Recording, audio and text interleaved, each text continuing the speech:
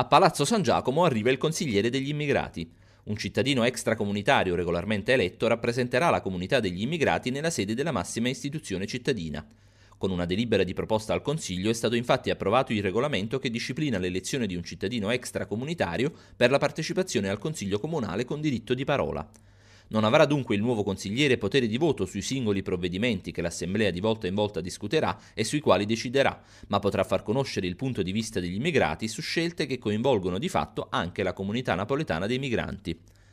Approvato inoltre dalla Giunta Comunale anche un secondo regolamento con il quale si dà la possibilità di estendere il diritto di voto per i referendum consultivi ai cittadini che abbiano compiuto il sedicesimo anno di età, ai residenti cittadini dell'Unione e ai residenti extracomunitari.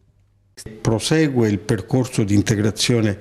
eh, dei cittadini stranieri, ma soprattutto prosegue anche il percorso di costruzione di una più robusta cittadinanza. Abbiamo leggi nazionali discutibili che producono vincoli, talvolta impedimenti alla costruzione di percorsi di cittadinanza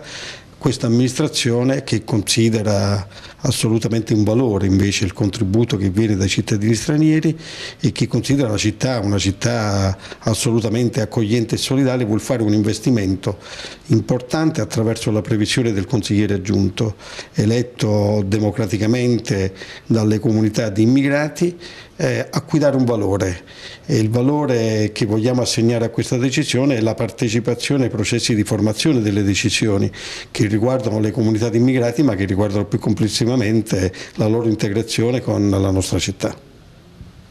e prosegue il percorso per un'alternativa democratica rispetto a un modello di democrazia escludente rispetto sia ai cittadini, rispetto ai migranti, rispetto ai giovani. In questo senso si muovono le due delibere di ieri che io ritengo molto importanti e mi sembra una norma di grandissima civiltà, una norma che va, eh, interpreta il concetto di cittadinanza in una visione molto più democratica rispetto a quella che purtroppo eh, è stato interpretato eh, fino, fino, ai nostri giorni. Cittadini praticamente della, sostanzialmente eh, di Napoli riteniamo che siano appunto eh, tutti coloro i quali stanno nel nostro territorio, che, nostro, che partecipano alla vita economica, sociale, culturale, i migranti. I migranti appunto abbiamo ritenuto che anche i migranti dovessero avere appunto il diritto di partecipazione politica e quindi di avere il diritto di partecipare ai referendum consultivi.